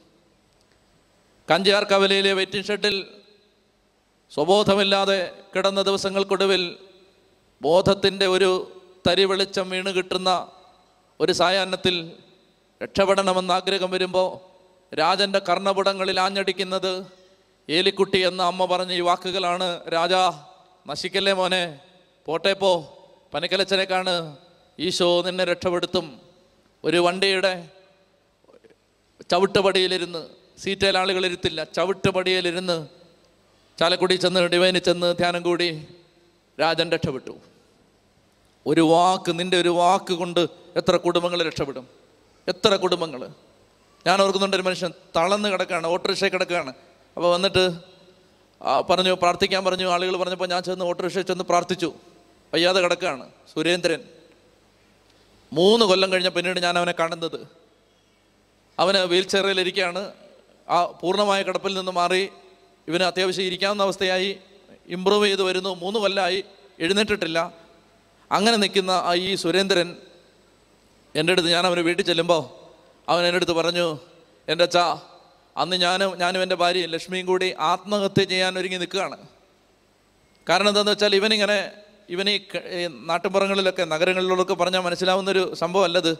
ഈ കിണറിന്റെ റിങ് ഇറക്കാൻ വേണ്ടി വരും. അപ്പോൾ അത് വരുമ്പോൾ ഈ ഈ ശരിക്കും പിന്നെ അതെടുത്ത് യന്ത്രങ്ങൾ എടുത്തു വെക്കുന്നതിന് പകരം നാട്ടുപുറങ്ങളിലൊക്കെയുള്ള നല്ല ആരോഗ്യമുള്ള തൊഴിലാളികൾ രണ്ട് പേര് ഇങ്ങനെ പുറംതിരിഞ്ഞ് നിന്നിട്ട് അവരുടെ നടുവിൽ ഇത് എടുത്തു വെച്ച് ഇങ്ങനെ കഴുതയെ പോലെ ഇത് ചുമന്നുകൊണ്ട് പോകും. അങ്ങനെ പോവായിരുന്നു സുരേന്ദ്രൻ. ഒരുപാട് ഭാരമുള്ള ഈ റിങ് അവന്റെ മുതുകത്ത് വെച്ച് ചുമന്നുകൊണ്ട് പോകുമ്പോൾ കാൽ വഴുതി വീണ് അങ്ങനെ തളന്നു പോയതാണ് കല്യാണം കഴിഞ്ഞിട്ട് ഏതാണ്ട് നാലോ അഞ്ചോ മാസമായിട്ടുള്ളായിരുന്നു. അപ്പോൾ ഇവനിങ്ങനെ തളർന്നു വീണ് കഴിഞ്ഞപ്പോൾ പിന്നെ അവന്റെ ഭാര്യയ്ക്ക് ജീവിക്കാൻ നിവൃത്തിയില്ലാതായി. ആ വീട്ടിൽ ഉപദ്രവം ഉണ്ടാവാൻ തുടങ്ങി. കാണുന്നവർ കാണുന്നവർ അവളെ കണ്ണിറുക്കി കാണിച്ച് വിളിക്കാൻ തുടങ്ങി. അങ്ങനെ അവൾ വന്ന് അവന്റെ അടുത്ത് വാവിട്ട് കരഞ്ഞ് ഇത് പറയുമ്പോൾ അവൻ പറയാണ് നീ നീ ആരുടെയെങ്കിലും കൂടെ നീ ഇറങ്ങിപ്പോ. എനിക്ക് ജീവിതമില്ല. ഞാൻ ഇങ്ങനെ കിടന്ന് പുഴു പുഴു വരിച്ച് മരിക്കത്തേ ഉള്ളൂ. നീ പൊക്കോ ലക്ഷ്മി നീ പൊക്കോ എന്ന് പറഞ്ഞിട്ട് പറഞ്ഞു വിടും പറഞ്ഞു വിടുകയാണ്. പക്ഷേ അവൾ ഇവനെ വിട്ട് പോവില്ല. അങ്ങനെ ജീവിക്കാൻ നിവൃത്തിയില്ല എന്ന് കണ്ടപ്പോൾ ഇവർ മരിക്കാമെന്ന് വിചാരിച്ചു. അങ്ങനെ മരിക്കാമെന്ന് തീരുമാനം എടുത്തിരുന്ന രാത്രിയിലാണ് അവരുടെ വീടിന്റെ തൊട്ടടുത്ത് ഞങ്ങൾ ആ കാലഘട്ടങ്ങളിൽ പൊതുവായ സ്ഥലങ്ങളിൽ തുറസായ സ്ഥലങ്ങളിൽ സ്റ്റേജ് കെട്ടി കൺവെൻഷൻ നടത്തുമായിരുന്നു. അന്ന് അവിടെ ഒരു കൺവെൻഷന് വചനം പ്രസംഗിക്കുന്നത്. അന്നാണ് ഈ സുരേന്ദ്രൻ ഭാര്യയോട് പറയുന്നത് ഇത് കേട്ടിട്ട് എനിക്ക് വലിയൊരു ആശ്വാസം തോന്നുന്നു പ്രത്യാശ തോന്നുന്നു എനിക്ക് വിശ്വാസം വരുന്നു. ലക്ഷ്മി എങ്ങനെയെങ്കിലും ആരെങ്കിലും വിളിച്ച് ഒരു ഓട്ടോറിക്ഷയെ കിടത്തിയാണേലും എന്നെ അങ്ങോട്ട് കൊണ്ടുപോകാൻ ചോദിച്ചു. അങ്ങനെ വന്നാണ്. ഞാൻ പറഞ്ഞു വരുന്നത് മൂന്ന് കൊല്ലം കഴിഞ്ഞ് സുരേന്ദ്രന്റെ വീട്ടിലിരുന്ന് അവൻ ഈ കഥ പറയുന്നത് ഞാൻ കേൾക്കുമ്പോൾ അവന്റെ അടുത്ത് പറഞ്ഞു അച്ഛാ അച്ഛൻ ഓർക്കുന്നുണ്ടാവില്ല. അന്ന് അച്ഛൻ എന്നോടൊരു വാക്ക് പറഞ്ഞു സുരേന്ദ്ര നീ വിഷമിക്കണ്ട. ഈശോ നിന്നെ സഹായിക്കും. സുരേന്ദ്ര നീ വിഷമിക്കണ്ട. ഈശോ നിന്നെ സഹായിക്കും. ഞാൻ മറന്നുപോയി. അവൻ പറയുകയാണ് കഴിഞ്ഞ മൂന്ന് കൊല്ലമായിട്ട് ഞാൻ ലക്ഷ്മിയും ജീവിച്ചിരിക്കുന്നത് ആ വാക്കിലാണ്. ഈശോ സഹായിക്കും. അതായത് ഒരു വാക്ക് ഒരു വാക്ക് ആ ഒരു വാക്കിന് ചിലപ്പോൾ ഒരു മുഴ കയറിൽ നിന്ന് ഒരാളെ രക്ഷപ്പെടുത്താൻ പറ്റും. നമ്മൾ വചനം കേട്ടു പ്രാർത്ഥിച്ചു ആരാധിച്ചു സ്തുതിച്ചു ധ്യാനകേന്ദ്രങ്ങളിൽ പോയി കൺവെൻഷനുകൾ കൂടി ഭക്തരായി. നമുക്ക് ഈ സമൂഹത്തോടൊരു ബാധ്യതയില്ലേ? നമ്മുടെ ചുറ്റുമുള്ളവരെ നമ്മളൊന്ന് അനുഗ്രഹിക്കണ്ടേ? അവരെ രക്ഷപ്പെടുത്തണ്ടേ? അവരുടെ ജീവിതത്തിന് ഔന്നത്യം കൊടുക്കണ്ടേ? ഉന്നതി കൊടുക്കണ്ടേ? പ്രിയപ്പെട്ട മക്കളെ ഈ രാത്രിയിൽ പരിശുദ്ധാത്മാവ് പറയുകയാണ് നിങ്ങളുടെ അധരങ്ങളിൽ നിന്ന് തിന്മയുടെ വാക്കുകൾ പുറപ്പെടാതിരിക്കട്ടെ. കേൾവിക്കാർക്ക് ആത്മീയ ചൈതന്യം പ്രദാനം ചെയ്യുന്നതിനായി അവരുടെ ഉന്നതിക്കുതകം വിധം നല്ല കാര്യങ്ങൾ സന്ദർഭമനുസരിച്ച് സംസാരിക്കുവിൻ. ഇനി ശ്രദ്ധിക്കുക ഇനി ശ്രദ്ധിക്കുക. അതിന്റെ പഞ്ച് ലൈൻ അടുത്തതാണ്. രക്ഷയുടെ ദിനത്തിന് വേണ്ടി നിങ്ങളെ മുദ്രിതരാക്കിയ പരിശുദ്ധാത്മാവിനെ വേദനിപ്പിക്കരുത്. എങ്ങനെ? കർത്താവ് എങ്ങനെ? പരിശുദ്ധാത്മാവിനെ വേദനിപ്പിക്കരുത്. എങ്ങനെ? എങ്ങനെ? ഞങ്ങൾ എങ്ങനെ വേദനിപ്പിക്കുന്നു? അടുത്ത വാക്യം. സകല വിദ്വേഷം ക്ഷോഭം ക്രോധം അട്ടഹാസം ദൂഷണം ഇവയെല്ലാ തിന്മകളോടും കൂടെ നിങ്ങൾ ഉപേക്ഷി ഇതെല്ലാം വായിന്ന് വരുന്ന കാര്യങ്ങളാണ്.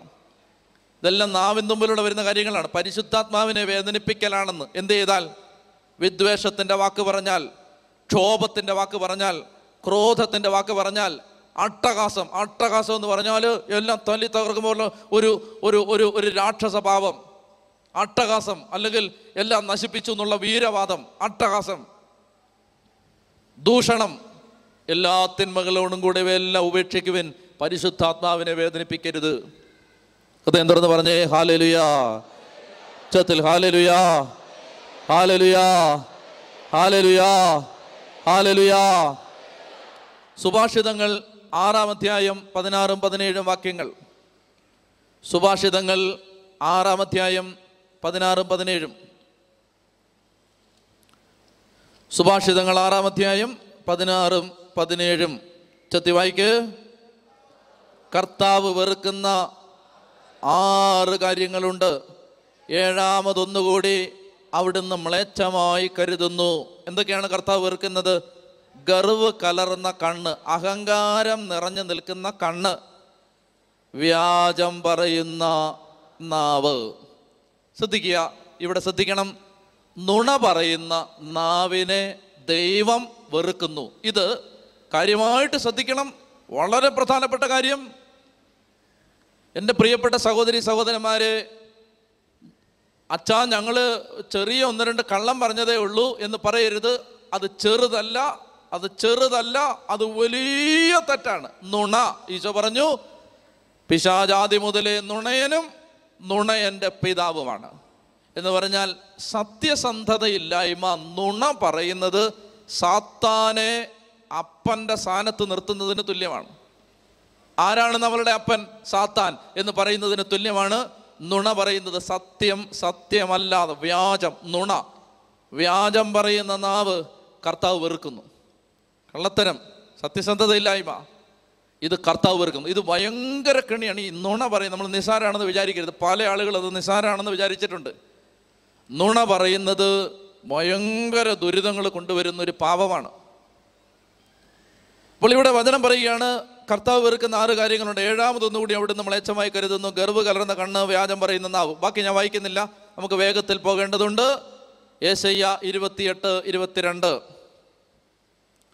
വളരെ പ്രധാനപ്പെട്ട മറ്റൊരു വചനമാണിത്. ഏശയ്യ ഇരുപത്തിയെട്ട് ഇരുപത്തിരണ്ട്. ഏശയ്യ ഇരുപത്തിയെട്ട് ഇരുപത്തിരണ്ട്. അതിനാൽ നിങ്ങൾ നിന്ദിക്കരുത്. എന്നിട്ട് വായിക്ക്. അതിനാൽ നിങ്ങൾ നിന്ദിക്കരുത്. നിന്ദിച്ചാൽ നിങ്ങളുടെ ബന്ധനങ്ങൾ കഠിനമാകും. എന്റെ പൊന്നു മക്കളെ കാത് തുറന്ന് എല്ലാവരും കേൾക്കത് നിന്ദിക്കരുത്. നിന്ദിച്ചാൽ ഇപ്പോൾ നിങ്ങൾക്ക് ഓൾറെഡി കുറേ ബന്ധനങ്ങളുണ്ടല്ലോ അത് ആ കുരുക്ക് മുറുകും. ആരെയും നിന്ദിക്കരുത്. ഈശോ പറയുന്നു ഈ ചെറിയവരിൽ ഒരാളെ പോലും നിന്ദിക്കാതിരിക്കാൻ സൂക്ഷിച്ചു കൊള്ളണം. നിന്ദിക്കരുത്. അതായത് ഇപ്പം നല്ല നിലയിൽ നമ്മൾ കഴിയുകയാണ്. നല്ല വണ്ടിയുണ്ട് നല്ല ജോലിയുണ്ട് ആരോഗ്യമുണ്ട് മക്കൾ നല്ല നിലയിലായി. അപ്പോഴാണ് അയൽപക്കത്തേക്ക് നോക്കുമ്പോൾ അവൻ ഗതികെട്ട് കിടക്കുകയാണ്. അപ്പോൾ ആ അതുങ്ങളുടെയൊക്കെ ഒരവസ്ഥ കണ്ടോ? അതുങ്ങൾക്ക് അത് കയ്യിലിരിപ്പ് ശരിയാവണം എന്ന് പറഞ്ഞ് നിന്ദിക്കരുത്. നിന്ദിച്ചാൽ നിനക്ക് ഓൾറെഡി കുറെ കെട്ടിവിടെ കിടപ്പുണ്ട്. അത് മുറുകും. നിന്ദിക്കരുത്. നിന്ദിച്ചാൽ നിന്റെ ബന്ധനങ്ങൾ കഠിനമാവും. ഇത് അച്ചട്ടാണ്. ഒരു സംശയമില്ല ഇതിന്. അതുകൊണ്ട് രക്ഷപ്പെടണമെന്ന് ആരെങ്കിലും ആഗ്രഹിക്കുന്നുണ്ടോ? പരിഹാസി നിന്റെ നാവിനെ സൂക്ഷിക്കുക. പരിഹാസി. ഇപ്പൊ പരിഹാസം എഴുതുന്നത് മുഴുവൻ സാമൂഹ്യ സമ്പർക്ക മാധ്യമങ്ങളുടെ ചുവരുകളിലാണ്. പരിഹാസി നിന്റെ ബന്ധനം കഠിനാവും. അറിയാൻ വയ്യാത്ത കാര്യത്തെക്കുറിച്ച് അഭിപ്രായം പറയാൻ പോകരുത്. അറിയാവുന്നതേ പറയാം. അറിയാൻ വയ്യാത്ത കാര്യത്തെക്കുറിച്ച് അഭിപ്രായം പറയരുത്. ഇപ്പൊ ഉദാഹരണത്തിന് ഉദാ ഞാൻ ഉദാഹരണം പറയുകയാണേ ഉദാഹരണമാണേ എനിക്ക് എന്തോരം പ്രായമുണ്ട് നിങ്ങൾക്ക് അറിയാവോ നിങ്ങളുടെ ഊഹം മുഴുവൻ തെറ്റാണ്. എന്റെ പ്രായം നിങ്ങൾക്ക് അറിയാൻ പാടില്ല. ചില ആളുകൾ വിചാരിച്ചു വെച്ചിരിക്കുന്നത് ഞാൻ ഇങ്ങനെ ഡൈ അടിച്ച് കറപ്പിച്ച് നടക്കുകയാണെന്നാണ്. എന്റെ ഒരൊറ്റ മുടി പോലും നിറച്ചിട്ടില്ല. നാച്ചുറലാണിത് ഒരാൾ പറയുകയാണ് നാണമില്ലേ ധ്യാനഗുരു കറപ്പിച്ച് നടക്കാൻ? ഞാൻ കറപ്പിച്ചതല്ല. ഇത് നല്ല കറപ്പാണ്. നല്ല കുടുംബത്തിൽ പിറക്കണം. ഇങ്ങനെ കറക്കണമെങ്കിൽ. ചെത്തി പറഞ്ഞേ ഹാലരുയാ അതായത് ഞാൻ പറഞ്ഞു വരുന്നത് ഇത് അറിയാൻ പാടില്ലാത്തൊരു കമന്റ് അല്ലേ ഇത്? കാരണം എന്നെ അറിയില്ല. എന്നെ അറിയണമെങ്കിൽ തിരുവനന്തപുരത്ത് വന്ന് അന്വേഷിക്കണം. യൂട്യൂബിൽ കണ്ടാൽ എന്നെ അറിയില്ല. അപ്പോൾ ഒരാൾ വിചാരിക്കുകയാണ് പ്രായമുള്ള ഞാൻ അമ്പത്തഞ്ച് വയസ്സുള്ള ഞാൻ മുടിയൊക്കെ കറപ്പിച്ച് ഇങ്ങനെ സുന്ദരമായിട്ട് നടക്കുകയാണ്. അങ്ങനല്ല എനിക്ക് ആ പ്രായമില്ല ഇരുപത്തേഴ് വയസ്സേ ഉള്ളൂ. അതായത് ഞാൻ പറയുന്നത് എന്റെ പ്രിയ ഒരു ഉദാഹരണം ഞാൻ പറഞ്ഞതാണ്. അതായത് അറിയാൻ അറിയാത്ത കാര്യത്തെക്കുറിച്ച് കമന്റ് പറയുകയാണ്. അറിയാൻ പാടില്ല.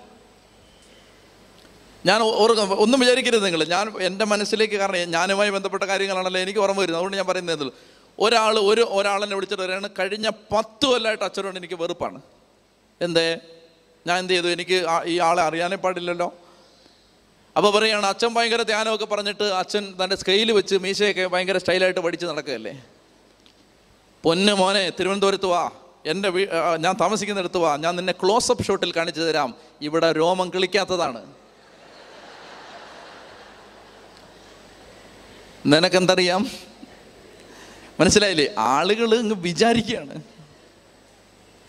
ഞാൻ എന്റെ കാര്യം പറഞ്ഞ് എന്റെ കാര്യം പറയാൻ വേണ്ടിയിട്ടല്ല. ഇങ്ങനെയാണ് ഓരോരുത്തരെ കുറിച്ച് നമ്മൾ വിചാരിച്ചു വെച്ചിരിക്കുന്നത്. അവൻ ശരിയല്ല അവൾ ശരിയല്ല അവൻ ശരിയല്ല ആ നിൽക്കുന്ന ആ ആ നീല അവന്റെ നീല ഷർട്ട് കണ്ടോ? അവൻ ശരിയല്ല. ചുമ്മാ അങ്ങ് പറയുകയാണ്. നിന്ദിക്കരുത് നിന്ദിച്ചാൽ നിന്റെ ബന്ധനങ്ങൾ കഠിനമാവും. ചെത്തി പറഞ്ഞേ ഹാലയിലുയാ ചുമ്മാ എറണാ ഇത് ഞാൻ ഇത് എറണാകുളംകാരോട് ഞാൻ പറയുന്നത് നിങ്ങൾ അങ്ങനെ ആയതുകൊണ്ടല്ല. മറിച്ച് ലോ എല്ലാ മക്കളുടെയും പ്രത്യേകിച്ച് മലയാളിയുടെ ഒരു പ്രശ്നമാണ്. ഇത് അറിയാൻ വയ്യാത്ത കാര്യത്തെക്കുറിച്ച് ചുമ്മാ അഭിപ്രായം പറയും. പറയുന്ന കേട്ടാ നമ്മൾ വിചാരിക്കും ഭയങ്കര പണ്ഡിതനാണെന്ന്. ഒന്നും അറിയാൻ പാടില്ല. വെറുതെ വായി വരുന്നെങ്കിൽ പറയുകയാണ്. ഇത് ശ്രദ്ധിക്കണം ദൈവത്തിന്റെ വചനം പറയുകയാണ് നിന്ദിക്കരുത് നിന്ദിച്ചാൽ നിന്റെ ബന്ധനങ്ങൾ കഠിനമാകും. എടുത്തോ നല്ലപോലെ സമയം എടുത്തിട്ടുണ്ട് പേടിക്കണ്ട. നമുക്ക് എഴുന്നേറ്റ് നിൽക്കാം. ഇന്ന് ഈ സന്ധ്യയിൽ ദൈവത്തിന്റെ ആത്മാവ് നമ്മളോട് പറയാൻ ആഗ്രഹിച്ചത് നീ വിലകെട്ടവ പറയാതെ സദ്വചനങ്ങൾ മാത്രം ഉച്ചരിച്ചാൽ നീ എന്റെ നാവ് പോലെയാകും. ഇന്നലെ എന്താണ്? ഇന്നലെ കണ്ണ് തുറക്കപ്പെട്ടു. ഇന്നോ? ഇന്ന് നാവ് വിശുദ്ധീകരിക്കപ്പെടുകയാണ്. അങ്ങനെയാണ് ആത്മാവ് നയിക്കുന്നത്. ഇന്ന് നാവ് വിശുദ്ധീകരിക്കപ്പെടുകയാണ്. ഇന്നലെ കണ്ണിന്റെ മേൽ ആന്തരിക കണ്ണ് തുറക്കപ്പെടാനൊരു പ്രാർത്ഥന. അതിന് ചില ബോധ്യങ്ങൾ. ഇന്ന് നമ്മുടെ നാവിന്റെ മേൽ ഒരു അഭിഷേകം. നാവ് കൊണ്ട് പ്രിയപ്പെട്ട മക്കളെ ഇപ്പോൾ ഒരു ഒരു രണ്ടായിരം പേര് മൂവായിരം പേര് നാലായിരം പേര് അയ്യായിരം പേര് ഈ വചനം കേട്ടെങ്കിൽ പിന്നെ ഈ ഓൺലൈനിലൂടെ ഒത്തിരി മക്കൾ ഇത് കേൾക്കുന്നുണ്ട് കേട്ടോ. ഇടപ്പള്ളിക്കാരോട് ആ ഒത്തിരി പേർക്ക് സ്നേഹമാണെന്ന് തോന്നുന്നു. ലൈവിനൊക്കെ ഒരുപാട് ആളുണ്ട് കേൾക്കാൻ. നിങ്ങൾ നിങ്ങളോട് സ്നേഹമായിട്ടോ? അതോ നിങ്ങളെ എങ്ങനെ ഉണ്ടെന്ന് കാണാൻ വേണ്ടി? അങ്ങനെ ഒന്നും അറിയാൻ പാടില്ല. ഏതായാലും ഈ ശുശ്രൂഷയിൽ ഒത്തിരി പേര് ലൈവായിട്ട് സംബന്ധിക്കുന്നുണ്ട്. ഞാൻ പറയുന്നത് ഈ കൺവെൻഷന് കർത്താവിന്റെ ആത്മാവ് എറണാകുളത്ത് ഈ വചനം കേൾക്കുന്ന മക്കളോടും ഓൺലൈനിലൂടെ വചനം കേൾക്കുന്ന മക്കളോടും പറയാൻ ആഗ്രഹിക്കുന്നൊരു കാര്യം നമ്മുടെ നാവ് കൊണ്ട് ഒരുപാട് ജീവിതങ്ങളെ നമുക്ക് രക്ഷപ്പെടുത്തണം. നിങ്ങളതിന് തയ്യാറാണോ? നിങ്ങളതിന് തയ്യാറാണോ? അതായത് നമ്മുടെ ഈ നഗരത്തിൽ നശിച്ചു കിടക്കുന്ന ഒത്തിരി മക്കളെ ഒന്നും പോസിറ്റീവായിട്ട് നമ്മുടെ കയ്യിൽ ഒന്നുമില്ല കൊടുക്കാനൊന്നുമില്ല നമുക്ക് നിവൃത്തിയില്ലെന്ന് വെച്ചോ നമ്മുടെ കയ്യിൽ ഒന്നുമില്ല ഉള്ളവർ തീർച്ചയായിട്ടും കൊടുക്കണം. എന്നാൽ നിവൃത്തിയില്ലാത്ത അവർ തന്നെ കടവാത്തിയതിൽ നമ്മൾ തന്നെ വിഷമത്തിലാണ്. നിങ്ങൾ ഓരോരുത്തരെ ഓരോരുത്തരെയായിട്ട് അങ്ങ് അനുഗ്രഹിച്ച് തുടങ്ങണം. ബൂമറാങ് പോലെ ഈ അനുഗ്രഹം നിങ്ങൾക്ക് തിരിച്ചു വരും. അതായത് നിങ്ങൾ നിങ്ങളുടെ അയൽവക്കത്തുള്ളൊരു കുടുംബം ഗതികെട്ട് കിടക്കുകയാണ്. ഗതികെട്ട് കിടക്കുമ്പോൾ അവരെ നിങ്ങളുടെ പ്രാർത്ഥനയെ കൊണ്ടുവന്നിട്ട് കർത്താവെ യേശുവിന്റെ നാമത്തിൽ ആ കുടുംബത്തിന്റെ കടബാധ്യതയെ ഞാൻ അനുഗ്രഹിച്ച് പ്രാർത്ഥിക്കുന്നു. ആ കടബാധ്യത മാറട്ടെ. ബൂമറാങ് പോലെ അനുഗ്രഹം നിങ്ങളുടെ വീട്ടിലേക്ക് തിരിച്ചു വരും. അവരും രക്ഷപ്പെടും നിങ്ങളും രക്ഷപ്പെടും. അവരും രക്ഷപ്പെടും നിങ്ങളും രക്ഷപ്പെടും. നായ്ക്കൻ വെറുമലച്ചൻ പറഞ്ഞു തന്നൊരു പ്രാർത്ഥനയുണ്ട്. അതായത് നിങ്ങൾക്ക് തലവേദനയാണെന്ന് വിചാരിക്കുക. നിങ്ങൾക്ക് മുപ്പത്തഞ്ച് വയസ്സ്. അച്ഛൻ അച്ഛൻ പറയുന്ന രീതിയിൽ തന്നെ ഞാൻ പറയാം. നിങ്ങൾക്ക് തലവേദനയാണ് നിങ്ങൾക്ക് മുപ്പത്തഞ്ച് വയസ്സുണ്ട്. നിങ്ങളിങ്ങനെ പ്രാർത്ഥിക്കണം കർത്താവെ. തലവേദനയുള്ള മുപ്പത്തഞ്ച് ലക്ഷം മക്കളെ തിരുരക്തത്താൽ കഴുകണമേ തിരുരക്തക്കടലിൽ മുക്കണമേ. മനസ്സിലാവുന്നുണ്ടോ? അപ്പോൾ നിന്റെ തലവേദന മുപ്പത്തി അയ്യായിരം മുപ്പത്തഞ്ച് ലക്ഷം തലവേദനക്കാർക്ക് സൗഖ്യത്തിന്റെ മധ്യസ്ഥ പ്രാർത്ഥനയായി മാറി നിന്റെ തലവേദനയെ മാറും അവരുടെ തലവേദനയെ മാറും. നമുക്കൊരു അനുഗ്രഹമായിട്ട് മാറണം. അപ്പോൾ ഇത് പറഞ്ഞപ്പോൾ തന്നെ ഇതേ ആളുകളുടെ മുഖമൊക്കെ കണ്ടിട്ട് എന്തൊരു പ്രകാശം. കൊള്ളാം കേട്ടോ. അതായത് കണ്ടോ വചന വചനം അങ്ങോട്ട് വരുമ്പോൾ പ്രകാശം പരക്കും. ദൈവവചനം അങ്ങോട്ട് പരന്നു കഴിയുമ്പോൾ പ്രകാശം പരക്കുകയാണ്. അതിശക്തമായി ദൈവത്തിന്റെ വചനം നമ്മുടെ ജീവിതത്തിൽ പ്രകാശം നിറയ്ക്കുകയാണ്. എനിക്ക് പറയാനുള്ളത് നമ്മൾ ഈ ആരാധനയിൽ പ്രാർത്ഥിക്കുമ്പോൾ നാവിന്റെ ഒരു അഭിഷേകത്തിന് വേണ്ടി പ്രാർത്ഥിക്കുക കർത്താവെ ഇത് നമുക്ക് ആളാവാൻ വേണ്ടിയിട്ടല്ല. ഞാൻ പറഞ്ഞ എല്ലാം നടക്കും. അങ്ങനെ ആളാൻ വേണ്ടിയിട്ടല്ല. മറിച്ച് നമുക്ക് ഒരുപാട് പേരെ രക്ഷപ്പെടുത്താൻ പറ്റും. ഒരുപാട് ജീവിതങ്ങളെ ഉയർത്താൻ പറ്റും. അതായത് ഗതികെട്ട് കിടക്കുന്ന മക്കളോടൊക്കെ അതായത് മക്കളെ ശരിയാവും മക്കളെ എന്ന് പറഞ്ഞാൽ അത് ശരിയാവും. ഞാൻ തമിഴ്നാട്ടിലെ ഒരു കോൺവെന്റിൽ ചെന്നപ്പോൾ അവിടെ ഒരു സിസ്റ്റർ പ്രായമുള്ള സിസ്റ്ററാണ്. ആ സിസ്റ്ററിന് ഒട്ടും വയ്യ. അപ്പോൾ ഒരു ജനലിനടുത്ത് ഇങ്ങനെ കസേര ഇട്ട് ഇങ്ങനെ ഇരിക്കും. ഇരുന്നിട്ട് സ്കൂളിൽ വരുന്ന കുട്ടികളെല്ലാം ഈ അമ്മച്ചി സിസ്റ്ററിന്റെ അടുത്ത് വരും. ആ സിസ്റ്റർ ഇങ്ങനെ തലേ കൈവച്ച് അനുഗ്രഹിച്ച് അങ്ങ് വിടും. മക്കൾക്കെല്ലാം വലിയ സന്തോഷം. കാരണം പരീക്ഷയ്ക്ക് ജയിക്കാത്തവരൊക്കെ ജയിക്കുന്നു മാർക്ക് കൂടുതൽ കിട്ടുന്നു കുട്ടികൾക്ക് എന്താണ്? ഒരു പാവം സിസ്റ്റർ അവിടെ ഇങ്ങനെ ഇരുന്ന് ബ്ലസ് ചെയ്ത് ബ്ലസ് ചെയ്ത് അങ്ങ് വിടുകയാണ്.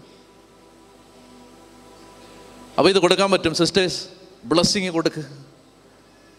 ചേട്ടന്മാരെ ചേച്ചിമാരെ നമുക്ക് എല്ലാവരെയും അനുഗ്രഹിക്കാം. അപ്പോൾ ഇത് പ്രാക്ടീസ് ചെയ്യണം. അല്ലെങ്കിൽ ഇത് കൺവെൻഷൻ കഴിയുമ്പോൾ മറന്നു പോകും പോകുന്ന വഴിക്ക് എന്നാണെന്നറിയാമോ ഒരു പത്ത് പേരെ അങ്ങ് അനുഗ്രഹിക്കണം.